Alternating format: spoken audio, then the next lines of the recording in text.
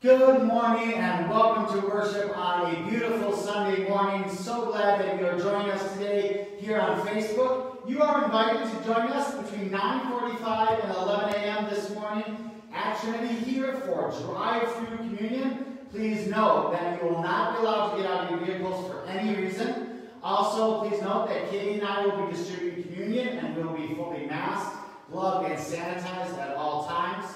So we do invite you to come join us between 9.45 and 11 for drive-through communion this morning. A couple other announcements uh, for you today. Uh, this uh, Wednesday, we're going to have a Zoom check-in at 6 o'clock. Check out your Trinity Tidings email. That will come through uh, tomorrow for instructions on joining us on that Zoom call. Again, on Wednesday at 6 o'clock. We're also next Sunday, May 10th, also going to do Zoom Fellowship at 10 a.m. Again, look for an invitation to come through your email uh, for that. If you don't get Trinity Tidings emails, please send me an email at pastorpd at cltcomm.net so you can get on that list. If you think you're on it or you're not getting emails, uh, please check your spam or junk folders. Sometimes it goes there. Also, a reminder that uh, next week was supposed to be our directory pictures. Uh, those are not happening. They've been postponed to September. You can find a link to reschedule your directory photos in emails. You can also check that out in the good news. Our newsletter has been posted on the website, as with all of our videos and anything you need for worship, including the bulletin for this exact service. Go to www.trinityboyceville.com to check all of that out. Now, let us prepare our hearts and minds for worship. In the name of the Father, and of the Son, and of the Holy Spirit. Amen. Almighty God, to whom all hearts are open, all desires known, and from whom no secrets are hid. Cleanse the thoughts of our hearts by the inspiration of your Holy Spirit, that we may perfectly love you and worthily, worthily magnify your holy name through Jesus Christ our Lord. Amen. Let us confess our sin in the presence of God and of one another. Gracious God, have mercy on us we confess that we have turned from you and given ourselves into the power of sin. We are truly sorry and humbly repent. In your compassion, forgive us our sins, known and unknown, things we have done and things we have failed to do. Turn us again to you and uphold us by your Spirit, so that we may live and serve you in newness of life. Through Jesus Christ, our Savior and Lord. Amen. God, who is rich in mercy, loved us even when we were dead in sin and made us alive together with Christ. By grace, you have been saved. In the name of Jesus Christ, your sins are forgiven. Almighty God, strengthen you with power through the Holy Spirit, that Christ may live in your hearts through faith. Amen. We sing our first hymn, Alleluia, Jesus is risen.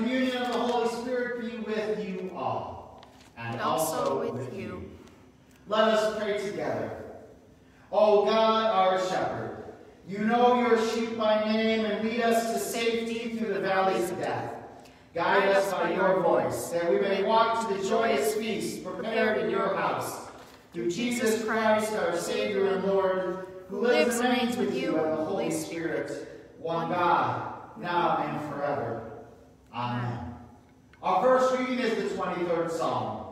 The Lord is my shepherd, I shall not want. He makes me lie down in green pastures. He leads me beside still waters. He restores my soul. He leads me in right paths for his name's sake. Even though I walk through the valley of the shadow of death, I fear no evil, for you are with me. Your rod and your staff, they comfort me. You prepare a table before me in the presence of my enemies. You anoint my head with oil. My cup overflows. Surely goodness and mercy shall follow me all the days of my life. I shall dwell in the house of the Lord my whole life long. Our second reading comes from 1 Peter chapter 2, verses 19 to 25. For it is to your credit if being aware of God you endure pain while suffering unjustly. If you endure when you are beaten for doing wrong, where is the credit in that? But if you endure when you do right and suffer for it, you have God's approval. For to this you have been called, because Christ also suffered for you, leaving you an example, so you should follow in his steps. He committed no sin, and no deceit was found in his mouth. When he was abused, he did not return abuse. When he suffered, he did not threaten, but he entrusted himself to the one who judges justly. He himself bore our sins in his body on the cross, so that free from sins, we might live for righteousness. By his wounds you have been healed. For you were going astray like sheep, but now you have returned to the shepherd and guardian of your souls. This is the word of the Lord. Our gospel comes from the 10th chapter of John, beginning with the first verse. Jesus said, Very truly I tell you, anyone who does not enter the sheepfold by the gate, but climbs in by another way, is a thief and a bandit. The one who enters by the gate is the shepherd of the sheep. The gatekeeper opens the gate for him, and the sheep hear his voice. He calls his own sheep by name and leads them out. When he has brought out all his own, he goes ahead of them, and the sheep follow him because they know his voice. They will not follow a stranger, but they will run from him because they do not know the voice of strangers. Jesus used this figure of speech with them, but they did not understand what he was saying to them. So again, Jesus said to them, Very truly, I tell you, I am the gate for the sheep. All who came before me are thieves and bandits, but the sheep did not listen to them. I am the gate. Whoever enters by me will be saved and will come in and go out and find pasture. The thief comes only to steal and kill and destroy. I came that they may have life and have it abundantly. This is the gospel of our Lord.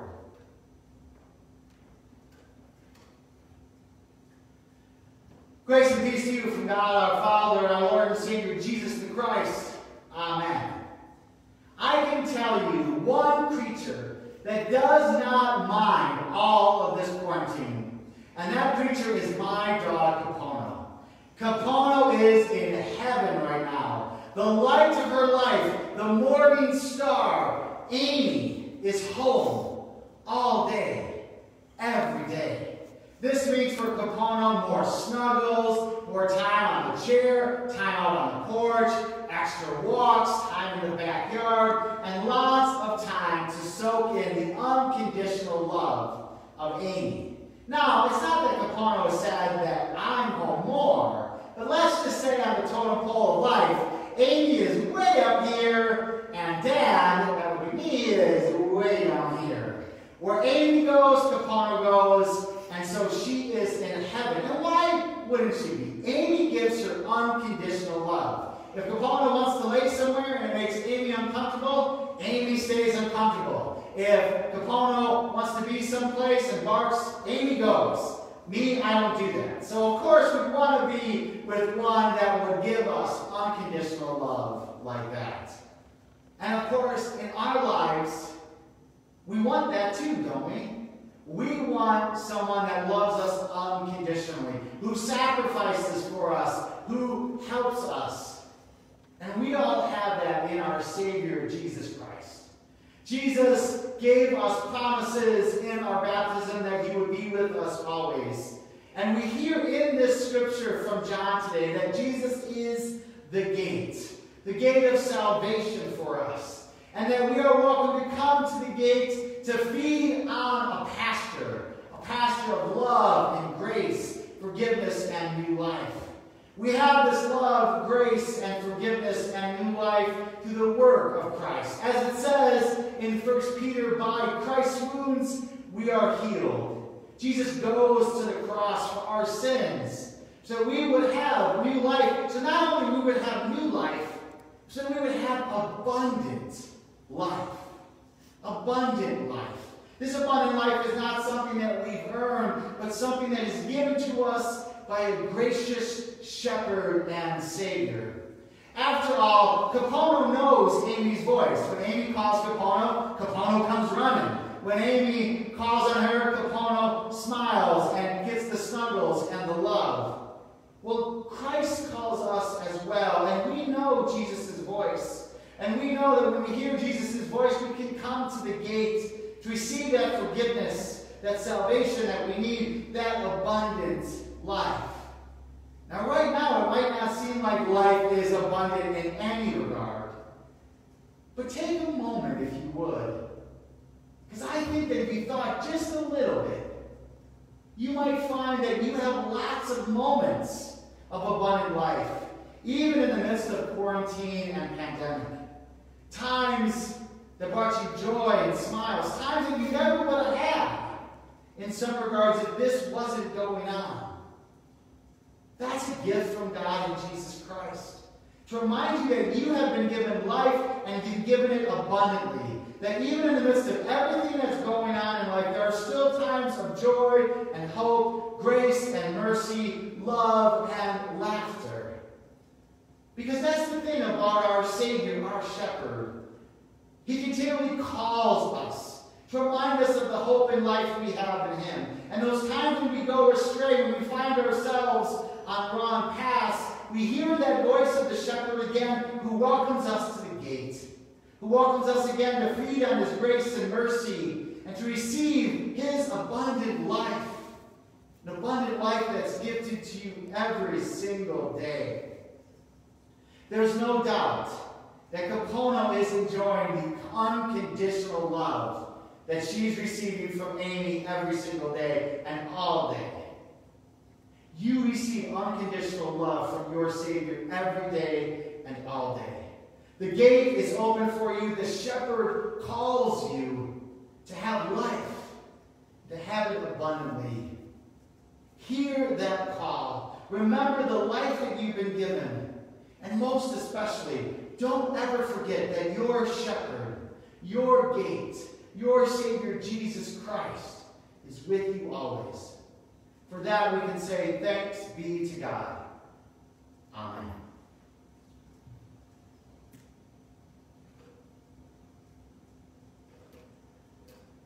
We are the church together. And so let us together confess our shared faith in the words of the Apostles' Creed. I believe in God the Father Almighty, creator of heaven and earth. I believe in Jesus Christ, his only Son, our Lord he was conceived by the power of the Holy Spirit and born of the Virgin Mary. He suffered under Pontius Pilate, was crucified, died, and was buried. He descended into hell. On the third day he rose again. He ascended into heaven and is seated at the right hand of the Father. He will come again to judge the living and the dead. I believe in the Holy Spirit, the Holy Catholic Church, the communion of saints, the forgiveness of sins, the resurrection of the body, and the life everlasting. Amen. The end of each prayer petition, I will say, Lord, in your mercy, please respond with, hear our prayer. Let us pray for the whole people of God in Christ Jesus and for all people according to their need. Loving God, your Son Jesus Christ is the gate who offers us abundant life. Help us to hear his voice as our shepherd and receive the grace, mercy, and salvation you offer us. Lord, in your mercy, hear our prayer. Loving God, lift up all those who have been infected by coronavirus and give them strength. Watch over all our healthcare workers and inspire us to take the necessary steps to keep everyone safe. Lord, in your mercy, hear our prayer. Loving God, be with parents and children with school being out and in the midst of sadness, questions, and anxiety. Strengthen them in grace and hope. Lord, in your mercy, hear our prayer. Loving God, give comfort to all those who grieve today, whether it is the loss of a loved one, loss of a job, loss of normalcy, or any other loss they are experiencing. Be the light that shines in their lives and give them hope through the work of your Son, Jesus Christ. Lord, in your mercy, hear our prayer. Loving God, we are church together even when we are not physically together. Remind us that you are active and present in our everyday lives. Lord, in your mercy, hear our prayer. Loving God, help us to see your blessings in ways both big and small in our lives, even in the midst of fearful times. We give thanks for those times of laughter, smiles, love, and joy we feel every day. Lord, in your mercy, hear our prayer. Loving God, we give you thanks for the gift of creation, for the flowers that are blooming, for the grass that is becoming green, for the warmer weather that helps us to be out in creation. Lord, we ask that you would bless our farmers as they are planting and be with all of us, that we might care and appreciate this creation you've given us. Lord, in your mercy, hear our prayer. Into your hands, gracious God, we commend all for whom we pray, trusting in your mercy through your Son, Jesus Christ our Lord. Amen. The peace of the Lord be with you always, and also with you. I encourage you to share peace with each other um, in the midst of our comments in worship today, or to send a text or a message to a loved one and to remind them that God's peace is with them. I Also, want to give thanks to all of you who continue to support Trinity's ministry through your financial gifts. You can give those gifts through the mail uh, by sending them at, to P.O. Box 247, Boyceville, Wisconsin 54725. Or you can go to our Give Plus app, search for Trinity Lutheran Church, and uh, Boyceville, and uh, go ahead and give. Or go to our website, trinityboyceville.com, and use the form online there to continue to keep Trinity's ministry going. Thank you again for all of your gifts and support.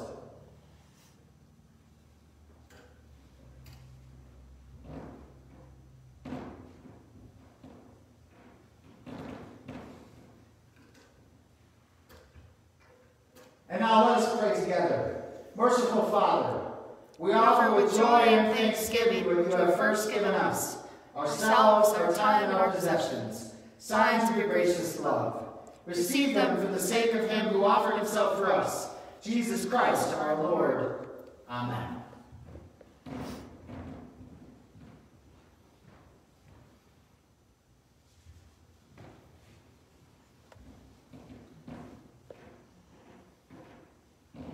And now hear the word of the Lord. In the night in which he was betrayed, our Lord Jesus took bread, gave thanks, broke it, and gave it to his disciples, saying, Take eat. This is my body given for you. Do this in remembrance of me.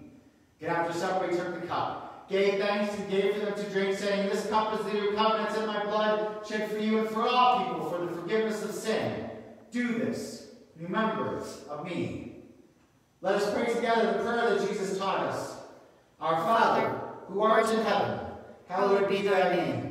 Thy kingdom come, thy will be done on earth as it is in heaven. Give us this day our daily bread, and forgive us our trespasses, as we forgive those who trespass against us. And lead us not into temptation, but deliver us from evil. For thine is the kingdom, and the power, and the glory, forever and ever. Amen.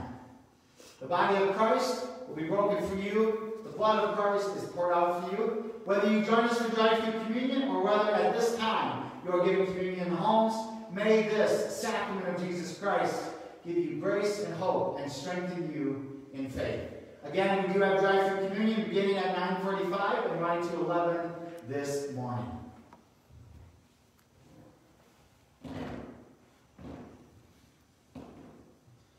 And now receive God's blessing. May the Lord bless you and keep you. May the Lord's face shine upon you and be gracious to you. The Lord look upon you favor and give you peace in the name of the Father and of the Son and of the Holy Spirit. Amen. Go in peace to love and serve the Lord. Thanks be to God. We sing our closing hymn, Have No Fear, Little Flock. And again, I want to thank Katie for being here, for uh, running our cameras and singing, and Lee for playing piano for us today, and for all of you for joining us in worship. Let's sing Have No Fear, Little Flock.